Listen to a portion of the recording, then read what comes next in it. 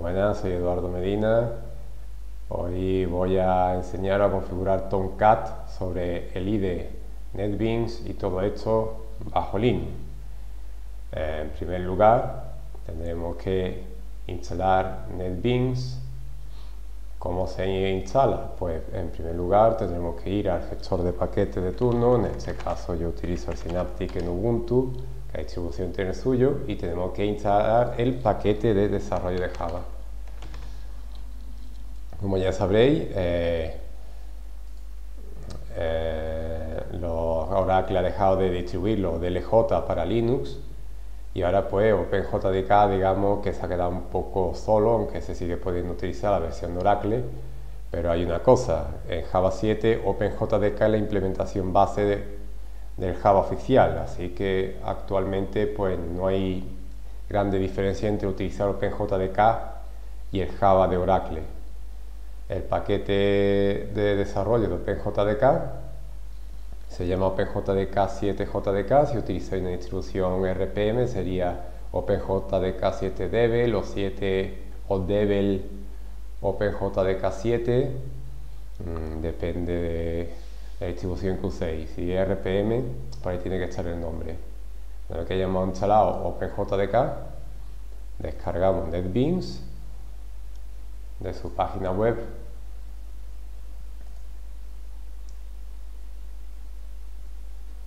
y una vez que lo hayamos descargado vamos con una consola a donde lo hayamos descargado y le damos permiso de ejecución para todo el mundo con chmod a más x netbeans el paquete, el nombre del, paquete, del fichero ch y después con permiso de root eh, en Ubuntu sería con sudo y sh .sh pues procedemos a instalarlo. En otra distribución, pues según lo tengáis configurado, pues antes tendréis que iniciar sesión con su.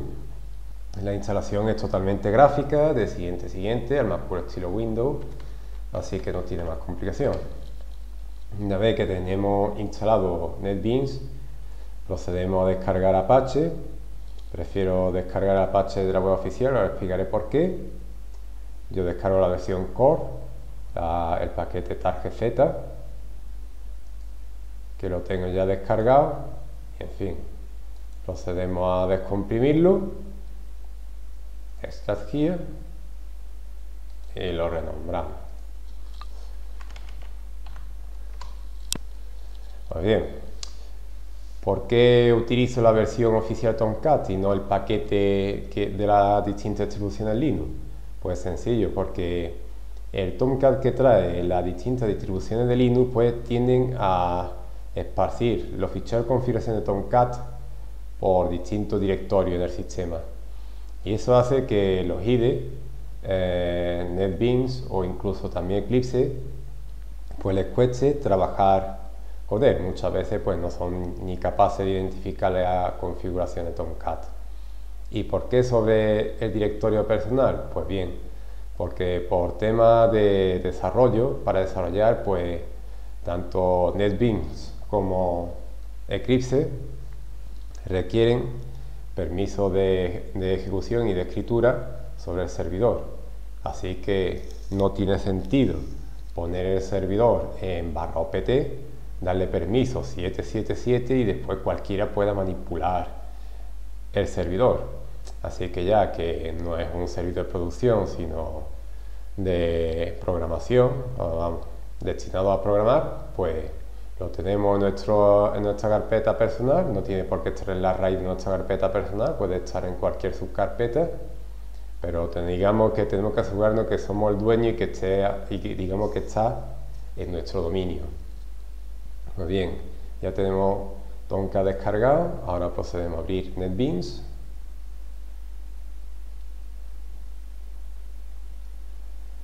está tardando un poquillo.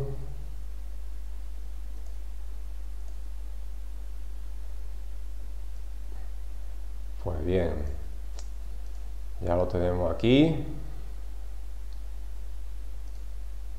Pues para poder configurar Tomcat tenemos que ir a Services, servers, después se activará algunos servicios y se, mostrará todo el menú principal. Al principio, en el primer inicio, no se muestra.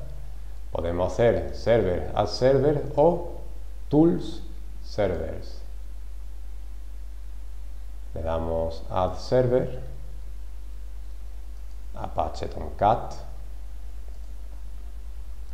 Ahora tendremos que buscar dónde está, en este caso está en la raíz de la carpeta de usuario en Tomcat. Creamos un usuario para el servidor. Esto si el usuario ya no existe, pues lo crea y como tenemos permiso, somos los dueños del servidor, no hay problema porque tenemos permiso de escritura sobre él. Le damos a Finish y aquí lo tenemos. Apache Tomcat y escucha por el puerto por defecto de Tomcat que el 8080 lo podéis configurar y poner en el 80 para que mm, se vea digamos la URL limpia, o sea, se vea localhost barra y la ruta del proyecto.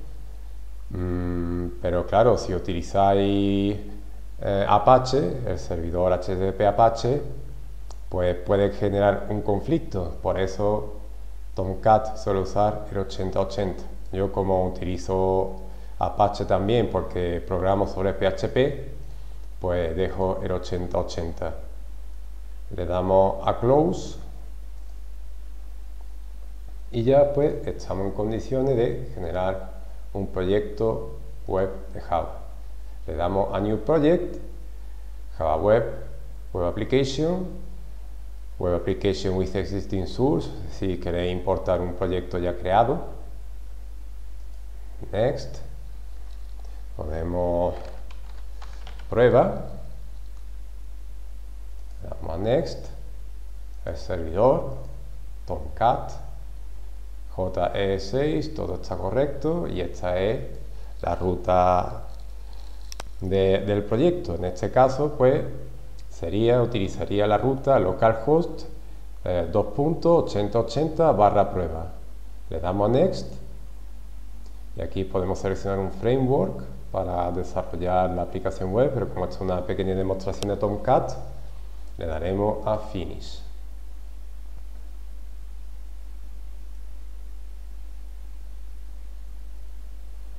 Eh, ya va creando.